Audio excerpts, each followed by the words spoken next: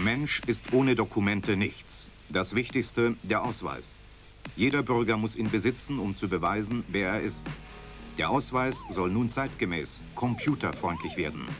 Datenschützer warnen vor dem gläsernen Menschen für Polizei und Geheimdienste. Das Netzwerk der Überwachung werde immer engmaschiger. Vorteile, der neue ist fälschungssicher, erleichtert die vorbeugende Verbrechensbekämpfung, Fahndungen und Grenzkontrollen. Der maschinenlesbare Personalausweis, das Thema von Pro und Contra, morgen nach der Tagesschau.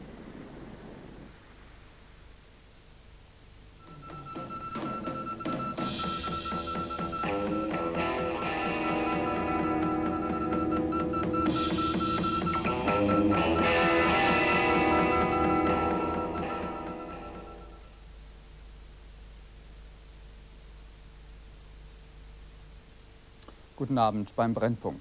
Nichts dazugelernt. Das fragen sich viele, nachdem in diesen Tagen ein Ort namens Korschenbroch, ein Ort mit 27.000 Einwohnern in Deutschland und im Ausland, Erinnerungen an die deutsche Vergangenheit geweckt hat.